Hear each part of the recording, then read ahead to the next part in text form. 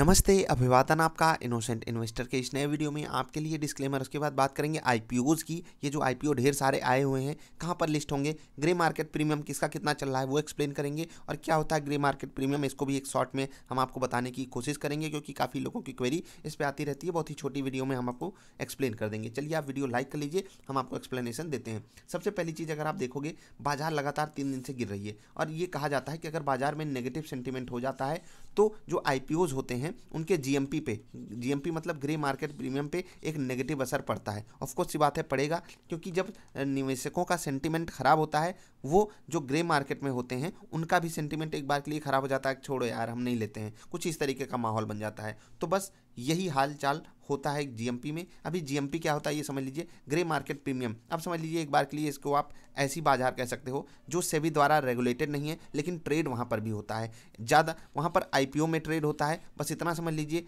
अब आपके सामने डेटा क्या बन के आता है? जब आईपीओ का प्राइस वहाँ पर एक प्रीमियम पे चल रहा हो, जी, ग्रे मार्केट प्रीमियम, इसका मतलब क्या है कि आईपीओ अगर सौ रुपये पे लॉन्च हुआ है और पाँच परसेंट का अगर वहाँ पर प्रीमियम है तो एक सौ पाँच पे आईपीओ खुलने के पूरे आसार होते हैं और ज़्यादातर चांसेस में ये सही भी हो जाते हैं। लगभग लगभग 90 परसेंट केसेस में जीएमपी एकदम परफेक्ट साबित होता है, इसीलिए लोग जीएमपी को ट्रैक करते हैं। हम आपको जीएमपी समझा समझा दिए। अभी चलेंगे चेक करेंगे आपके आई का जीएमपी कितना है आपने, जिसमें भी अप्लाई किया हो, सब कुछ आपको बताएँगे। लेकिन जो मैंने आपको कहा कि निफ्टी एक बहुत ही क्रूशियल सपोर्ट पर आकर खड़ी है। ग्लोबल मार्केट्स को देखते हुए और जो ऊपर के लेवल पे प्रॉफिट बुकिंग आई, इसको समझते हुए आप हम बिल्कुल ये अनुमान लगा सकते हैं कि जीएमपी जो है, वो कम हुआ होगा। चलिए, हम जीएमपी को टेस्ट करते हैं कि किसका कितना अभी चल रहा है। तो बिल्कुल आपके सामने डेटा है। इंडिको पेंट्स में जिन लोगों ने अप्लाई किया है, उनको सात सौ नब्बे रुपये से आठ सौ रुपये तक का जीएमपी मिलने के पूरे आसार हैं, जो कि बहुत बेहतरीन है। और ये जीएमपी अगर आप प्रेजेंट सिनारी में कैलकुलेट करोगे, जिस हिसाब से तीन दिन बाज़ार गिरी है, और ये पच्चीस तारीख की डेट का जीएमपी अप्रॉक्सीमेटली है, दस, बीस, पचास रुपये ऊपर यहाँ पर हो सकता है। मतलब कि दो, चार परसेंट ऊपर नीचे जीएमपी में आप एग्जैक्टली कैलकुलेशन नहीं दे सकते हो तो इतना आपको मानना चाहिए, ठीक? अगर ज़्यादा यहाँ पर फ्लक्चुएशन दिख रहा है तो। तो इंडिगो पेंट्स जैसा कि आप यहाँ पर देख पा रहे हो, सात सौ नब्बे से आठ तक का आपको प्रीमियम मिल है, जो कि एक बहुत ही हैंडसम प्रॉफिट होगा अगर आपको इतना मिलता है, क्योंकि इनका स्टॉक प्राइस भी काफ़ी ज़्यादा है तो आप उस हिसाब से इसको समझ सकते हो। आई आर एफ़ सी यहाँ पर आपको सिर्फ़ पचास साठ पैसे का प्रीमियम मिल रहा है, और जैसा कि मैंने इसके एक्सप्लेनेशन वाली वीडियो में भी कहा था कि बाज़ार जो है वो ग्रोथ को सम्मान देती है।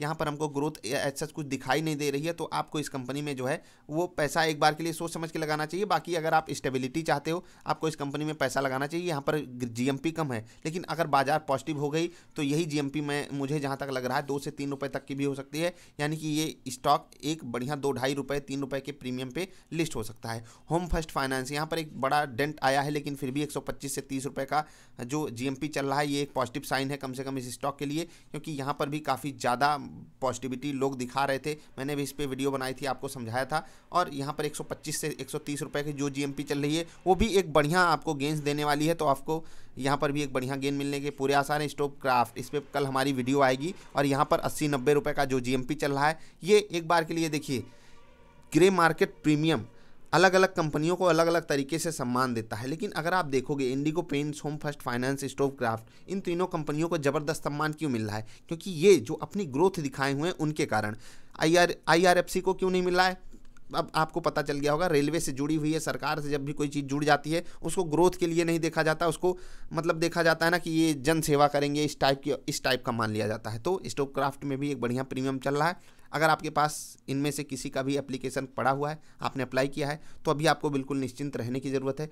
बाज़ार गिरी है, लेकिन इसका ये मतलब नहीं कि आपके जीएमपी में बड़ा डेंट आया हुआ है। आया है, लेकिन उतना बड़ा नहीं जितनी हमें मतलब हमको लग रहा था बाज़ार इतना ऊपर से तीन दिन लगातार गिर गई, बड़ा डेंट आया होगा, लेकिन ऐसा कुछ नहीं है। अब बहुत ज़्यादा चांसेस ये हैं कि बाज़ार यहाँ पर एक सपोर्ट ले हॉल्ट ले, क्योंकि ग्लोबल मार्केट्स भी अगर आप देखोगे नैसडैक आज रिकॉर्ड हाइस पे ओपन हुआ है। क्योंकि टेक्नोलॉजी स्टॉक्स के वहाँ पर रिज़ल्ट आने वाले हैं और इंडिया में आपने देखा ही कितने बेहतरीन रिज़ल्ट आए हुए हैं टेक्नोलॉजी स्टॉक्स के। आई होप आपको चीज़ें समझ में आई होंगी। अगर कुछ नहीं समझ में आया तो आप नीचे पूछ सकते हो। जीएमपी आपके सभी आई का बढ़िया चल रहा है, जहाँ पर हमने अप्लाई करने को कहा था, वहाँ पर और बेहतरीन चल रहा है। तो बस इतना समझ लीजिए, जो अच्छे आई होते हैं, वहाँ पर सब लोग अप्लाई करने के लिए बोलते हैं। बस ये मना है कीजिएगा आपको मिल बजाए। तो थोड़ा सा भैया जिसको भी मानते हो, ऊपर वाले को, नीचे वाले को थोड़ा सा समझ बुझा लिया कीजिए भैया मान जाओ यार आईपीओ दिला दो। खैर स्टूडेंट्स के लिए आईपीओ समझ लीजिए, वो बहुत बेहतरीन चीज़ होता है। एक लंबा जंप मारने के लिए। अभी के लिए इतना ही मिलेंगे फिर से। किसी अच्छी वाली वीडियोज़ में कोई चीज़ नहीं समझ में आई तो नीचे कॉमेंट करके पूछ सकते हो।